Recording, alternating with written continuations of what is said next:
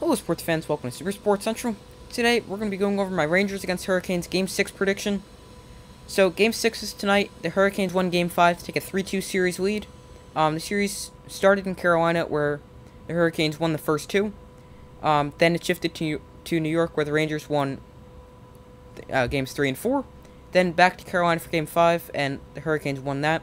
So, so far the home team has won every game. Um, and in fact, for the Hurricanes, um, for the them the entire playoffs, um, the home team has won every game. In the Bruins series, they they went four and three with the Bruins winning the three they lost. So the Hurricanes are undefeated at home and winless on the road. So my prediction for this game, obviously the Rangers need to win Game Six if they want to stay alive. Um, so the Rangers have been pretty good this series, especially at home. They've been really good. Um, they're led by goalie Igor Shesterkin, who's a Hart uh, Trophy candidate.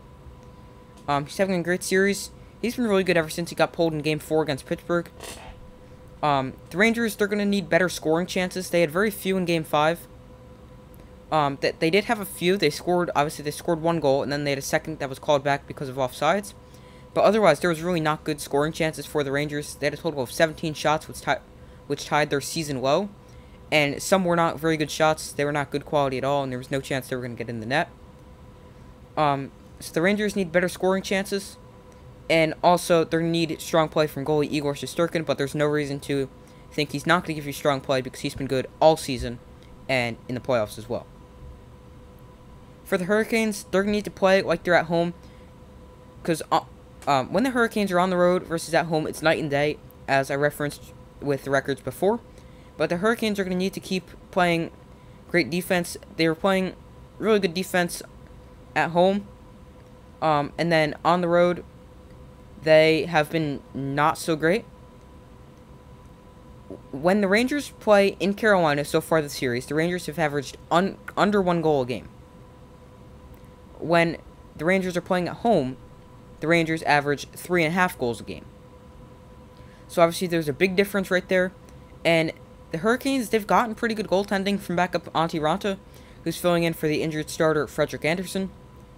So the Hurricanes, their top line has done a very good job of being good defensively against the Rangers' top line. Um, but now they're going to need to continue to play good defense tonight on the road. So my final prediction for the game, I have the Rangers um, winning this game, and I have it because the home team's been so good this series. Um, so I have the Rangers winning and forcing a game 7, winning by a score of 3-1. Um, and if the Rangers do force a game 7, we'll be having a live watch party for game 7 where you guys will get to see my live reactions, analysis, and thoughts um, as it happens. Um, so that will start at about 7.50 or 10 minutes before uh, game 7 starts. And that will be on Monday if the Rangers force a game 7. So I have the Rangers winning this one 3-1 to force a game 7. Um, make sure to like, subscribe, and comment. I do my best to post as often as possible. Let me know your prediction in the comments, and I will see you in the next video.